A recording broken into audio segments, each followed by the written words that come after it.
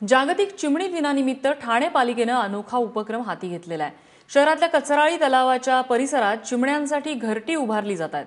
पक्षांना अन्न मिळावं याकरता ठाणे सिटीझन फोरमसह इतर स्वयंसेवी संस्थांनी यासाठी पुढाकार घेतलाय. पालिका आयुक्त संजीव जयस्वाल यांच्या हस्ते या उपक्रमाचा शुभारंभ झालाय. या उपक्रमासाठी पालिकेच्या अर्थसंकल्पात पाच लाख रुपयांची तरतूद करणार असल्याचं आयुक्तांनी सांगितलंय.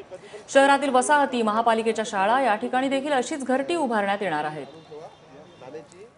मला असं वाटतं की हे अतिशय चांगला उपक्रम आज ठाणे शहरामध्ये सिटीझन फोरम आणि सर्व नागरिक आणि महानगरपालिकाच्या संयुक्त विद्यमानाने घेण्यात आलेली आहे.